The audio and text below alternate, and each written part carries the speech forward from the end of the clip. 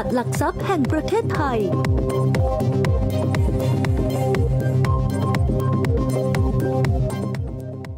ตลาดหุ้นไทยกลับมาทำการในวันจันทร์แล้วนะคะ แล้วก็เผชิญข่าวลบค่ะ ก็คือเรื่องของ GDP ของไทยปี 66 แต่ทีนี้นักทุนเหมือนจะมองข้ามไปแล้วนะคะ คือไตรมาส1ปี 67ท่องเที่ยวค่ะ น่าจะเป็นพระเอกสำคัญในการช่วย ถ้าเกิดส่งออกเราไม่ได้แย่นะคะ น่าจะประคองเศรษฐกิจให้กลับมาดีกว่าช่วงไตรมาส 4 ปี 66 แล้วก็อาจจะมองไปถึงปี 67 ทั้งปีที่จะดีกว่าปี 66 ด้วย แต่อะไรก็ตามค่ะ ไส้ในมันจะมีเรื่องของความผันผวนที่มากขึ้นกว่าเดิมแน่นอน ไม่ว่าจะเป็นภูมิรัฐศาสตร์และการ ให้แบงก์ชาติลดอัตราดอกเบี้ยนี่สิคะเดี๋ยวเราต้องติดตามกันดูค่ะ ว่าเป็นอย่างไรบ้าง วันนี้นี่นามีข่าวอัปเดตด้วยนะคะ ไม่ว่าจะเป็นเรื่องของ JKN ค่ะ เรื่อง JKN Legacy ที่มีการวิพากษ์วิจารณ์เยอะมาก คราวนี้เป็นฝั่งของกลุ่มผู้ถือหุ้นกู้ ดูแล้วไม่ค่อยพอใจเท่าไหร่รวมไปถึงมอด้วย เดี๋ยวเรามาติดตามกันได้ในเซตอัตตุกับนินาค่ะ ตลาดหุ้นในเอเชียกันเลยนะคะที่เราผสมผสานค่ะ ส่วนใหญ่คือตัวเลขของสหรัฐที่ประกาศออกมาเนี่ยค่อนข้างที่จะมี Impact เยอะนะคะในตลาดเอเชีย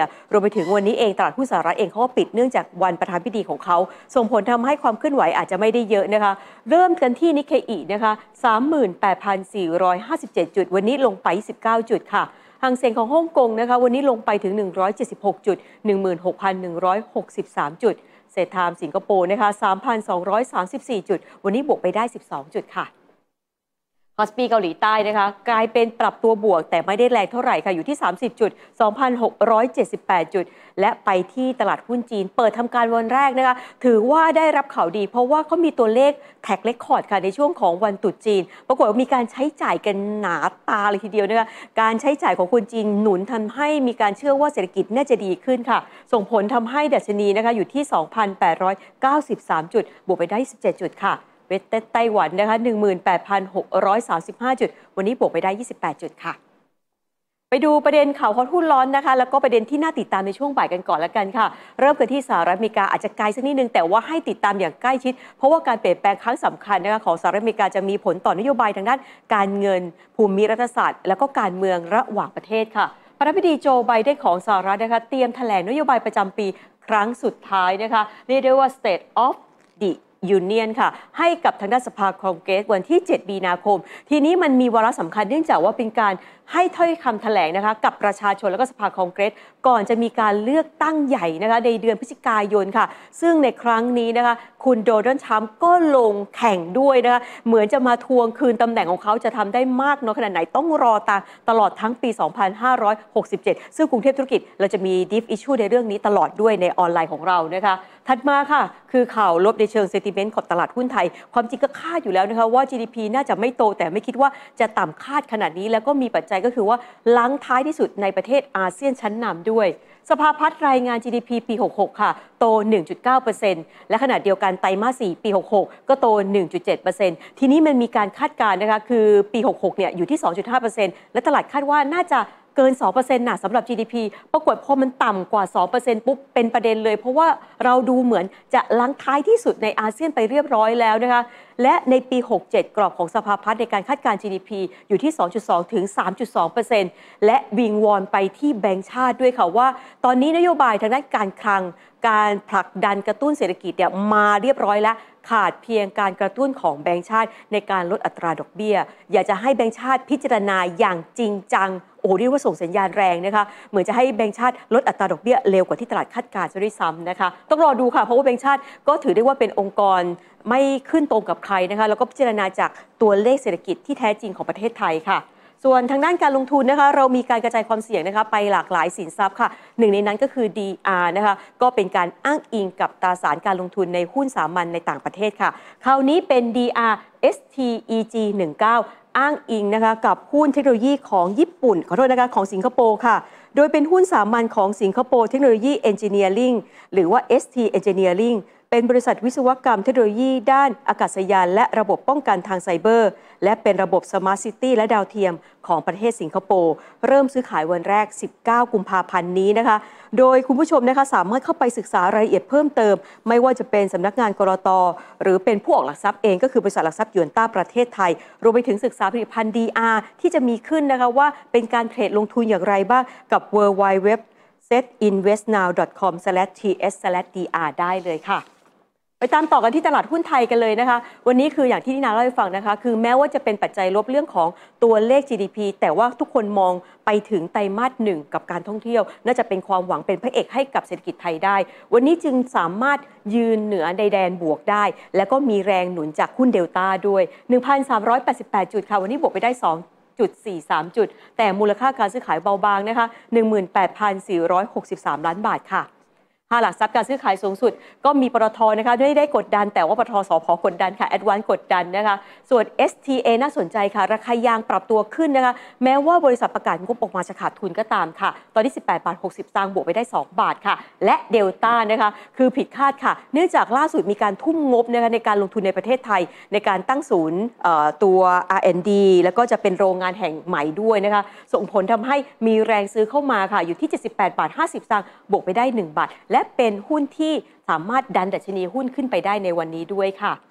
ส่วนข่าวฮอตหุ้นร้อนนะคะโอ้โหเรียกได้ว่ามี 2 หุ้นที่มีประเด็นที่ไม่อยากให้นักทุนพลาดค่ะ เพราะเป็นฮอตอิชชูและเป็น alert ให้กับนักทุนที่ลงทุนในหุ้น 2 ตัวนี้ เริ่มกันที่มอกันก่อน คือมอก่อนหน้านี้นะคะมีการเพิ่มทุนครั้งมโหฬารค่ะ 21,530 ล้านหุ้น ทีนี้มีทั้ง RO มีทั้ง PP นะคะแล้วก็ไปรองรับกับ w a l l a n ตัวม 7 ตัวมวอลเลนเจ็ด้วย ทีนี้มันก็มีการให้คำแนะนำของที่ปรึกษาทางด้านการเงินอิสระหรือ IFA ค่ะ ไม่เห็นควร ดังในการเข้าไปให้ความคิดเห็นนะคะในเรื่องของการเพิ่มทุนในครั้งนี้ เนื่องจากมองว่าราคาเงื่อนไขความสมเหตุสมผลของรายการ และมองว่าไม่ควรอนุมัติเข้าทำธุรกรรม ในการออกหุ้นสามัญเพิ่มทุนในครั้งนี้ เนื่องจากแผนการลงทุนไม่สามารถประเมินความเหมาะสม และความเป็นไปได้ของโครงการได้ทำให้ตลาดหลักทรัพย์มีการถามไปยังที่บริษัทมอนะคะว่าตกลงแล้วคุณมีการชี้แจงเรื่องประเด็นนี้อย่างไรบ้าง ล่าสุดคณะกรรมการตรวจสอบค่ะ มีการตอบคำถามเรื่องนี้มา โดยบอร์ดตรวจสอบบอกว่ามอเนี่ยแหละค่ะจากข้อมูลที่มีอยู่ในวันนี้เห็นควรให้เพิ่มทุนและมองว่าเหมาะสมแล้วนะคะเนื่องจากว่าประเด็นแรกก็คือว่าที่ไม่สามารถให้ข้อมูลได้ครบถ้วน เนื่องจากว่าติดเรื่องของอข้อสัญญาค่ะ ในการทำธุรกิจที่ต้องเป็นความลับ ดังนั้นจึงไม่สามารถให้ข้อมูลได้ชัดเจนรวมไปถึงการลงทุนและก็การเพิ่มทุนในครั้งนี้ ก็มาจากความต้องการของรายย่อยเอง ซึ่งมีอยู่ประมาณเป็นหมื่นรายนะคะ ขอให้บริษัทสรรหาธุรกิจใหม่ ขณะที่คดีความซึ่งมีทั้งผู้ถือหุ้นใหญ่ มีทั้งอดีตกรรมการ มีทั้งผู้ที่เกี่ยวข้องกับบริษัท เข้าไปมีส่วนพัวพันกับกรณีปล้นหุ้นนะคะจำนวนถึง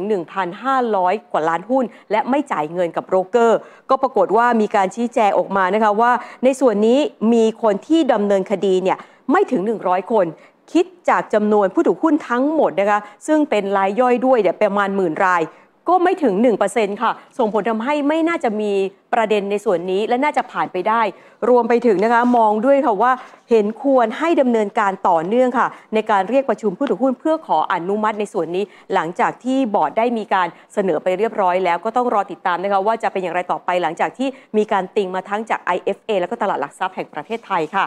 ส่วนอีกข้อหนึ่งค่ะก็คือ JKN นะคะใครตามมาอย่างต่อเนื่องจะรู้เลยนะคะว่านี่นาได้นำเสนอหลายเรื่อง ก็คือประเด็นการขาย Miss Universe Organization 50%ให้กับทางด้านกลุ่มเม็กซิโกนะคะซึ่งก็เป็นเจ้าของธุรกิจยักษ์ใหญ่ในประเทศเม็กซิโก